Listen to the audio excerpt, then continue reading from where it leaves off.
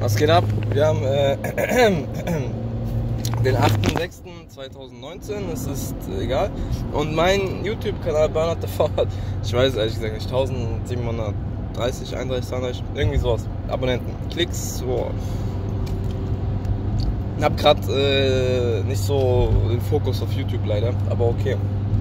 Nichtsdestotrotz fahre ich gerade auf die Arbeit und äh, habe noch fünf Minuten.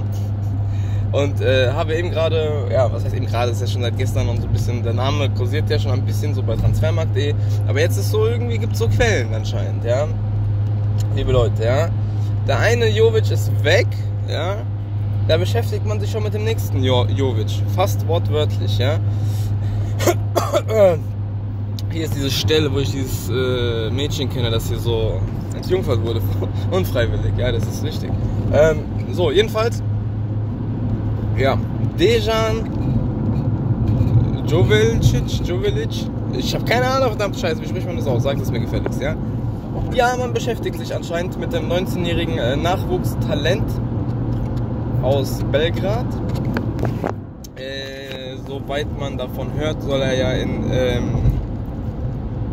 deren Kreisen, also äh, national, so äh, sehr hoch äh, gelobt werden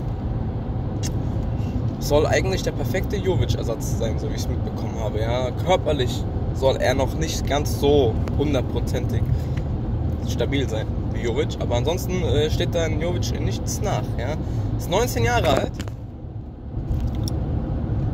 und ähm, ja, ich dachte ja, das klingt ja alles super. Da habe ich ein Bild von ihm angeguckt.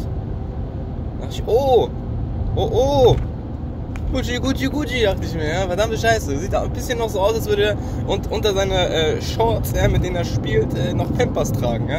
Wirklich. Also sieht ein bisschen so aus. egal, Gucci, Gucci, Gucci, mach mal so, ja. Ähm, ist mir auch egal. Und wenn er sie, sieben Jahre alt wäre, wenn er Tore schießen kann, kann er Tore schießen, ja. Und dann ähm, ist er natürlich herzlich willkommen hier in Frankfurt. Ich persönlich kann aber jetzt nicht so viel zu ihm sagen. Ich bin nicht so der Weltenbummler in, in Sachen Fußball. Ja. Ich, äh, ich liebe Eintracht Frankfurt. Ja. Und mit Eintracht Frankfurt kenne ich mich aus und beschäftige mich. Aber so alles, was drumherum auf der Welt passiert, so wenn es nicht unmittelbar mit Eintracht Frankfurt zu tun hat, ja, ja, man kennt den einen oder anderen Spieler, aber ich bin ja jetzt kein Hobby-Scout, der, der, kein Leben hat und den ganzen Tag auf Transfermarkt äh, sitzt und die, achte indische Liga nach äh, Talenten, Talenten nach, nach irgendwelchen Spielern durchsucht, wo, wo die Statistik sagt, okay, der hat fünf Tore mehr geschossen, ja. Tut mir leid.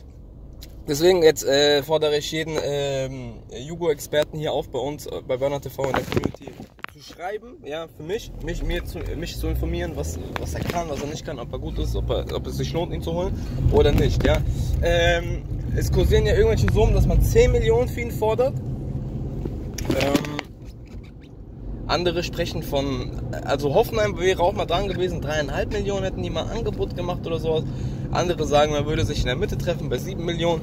Ich sag mal so, 10 Millionen egal wie hoch die Inflation ist und die Explosion des Geldes im Fußballbusiness so, ich kann mir nicht vorstellen, dass jemand, der noch nie was gerissen hat, 10 Millionen direkt nach der ersten Station, erster Wechsel, ähm, dass er 10 Millionen kosten würde, so, ähm, der muss sich erstmal beweisen, ja, und das macht er mit dem nächsten Schritt, eventuell jetzt bei Eintracht Frankfurt, und da sollte die Ablöse sich einpendeln, so, was weiß ich, zwischen 3 und 6, 7 Millionen. Das ist so, glaube ich, heutzutage das ist so das neue Ding, was man so für, für Talente zahlt. Haben wir auch einen Endika gesehen, der auch so um 6 irgendwas gekostet hat.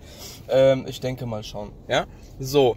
Äh, des Weiteren äh, gab es ja noch ein Gerücht zu diesen äh, wer? Moralapostel da, äh, Morales, Morelos, äh, äh, ihr wisst schon, diese eine äh, Kolumbianer ist er, spielt in Schottland bei äh, bei den Rangers, glaube ich, ja interessant. Aber also bei äh, Jovicic oder wie der heißt, äh, ja, habe ich ja bei Transfermarkt gelesen, habe ich einige Leute den schon ge gewünscht, sehr gerne gewünscht zur Eintracht. Das ist ja schon mal ein gutes Zeichen an sich. Diesen äh, Moralapostel, das weiß niemand, also den kennt niemand, soweit ich weiß. Aber laut seiner Statistik ist er ja äh, überragend. Ich weiß, es ist nur die äh, äh, äh schottische Liga und sowas, aber auch in Schottland spielt man körperbetont. Ich meine, es ist ja da hinten diese Ecke Großbritannien, Schott Schottland und Wales und England und alles so. Äh, da spielt man schon äh, mächtig so und ähm, ist anscheinend zu gut für die Liga, weil er in, was weiß ich, sagen, keine Ahnung, jetzt mal so hochgerechnet, auf 30 Spielen hat er irgendwas mit paar und 20 Torbeteiligung. Ja, das ist schon überragend. Da habe ich mir den angeguckt. Boah, ich musste so lachen, ich musste so lachen. Ey, der sieht, der sieht einfach aus Prototyp wie so, wie so ein, äh, aus der Profikiller-Garde von Pablo Escobar. eins zu eins. Er sieht einfach aus wie, so, wie, wie ein Profikiller von Pablo Escobar. Ja, Weltklasse. Das hat mir so gut gefallen, dass ich gesagt habe, der muss zur Eintracht kommen. Ja, den will ich unbedingt bei der Eintracht sehen. Was passiert hier? Warum sind hier eine Million Parkplätze frei? Ich verstehe das nicht. Von meiner Arbeit ist alles frei. Das gab es ja noch nie. Naja, nichtsdestotrotz äh, möchte ich das so haben, liebe Leute. Und äh, was das möchte ich so haben? Ja, ich äh, weiß gar nicht, was ich gerade gesagt habe. Es würde mir sehr gefallen. Es würde mir sehr gefallen. Ja, das ist äh, ja ein Profikiller. Gefällt mir. Ja, der ist zwar und, und nicht nur, dass er aussieht wie ein Profikiller, der spielt auch wie ein Profikiller, weil er irgendwie äh, unglaublich viele Rote kassiert. Ich weiß nicht wieso, weshalb, wieso. Das kann immer blöd laufen. Ja, haben wir auch diese Saison gesehen bei Willems und so. Das ist ja auch kein Töter, äh, keine Killermaschine eigentlich. Aber es passiert, ja. So, liebe Leute. Scheiße, ich muss jetzt leider spontan abbrechen, weil ich bin äh, extremst hier am Arsch, ja, zu spät. Deswegen, schreibt mir ruhig, vielleicht habt ihr noch andere Gerüchte gehört, was sagt ihr zu diesen zwei Spielern? Ich kenne sie nicht. Wenn jemand sie kennt, schreibt es mir unter das Video, ich bin sehr gespannt, äh, wen wir jetzt endlich verpflichten werden. Ja, es wird langsam Zeit. Eintracht Frankfurt auch mal eine neue Verpflichtung, ja, also bitte, ja, danke, tschüss.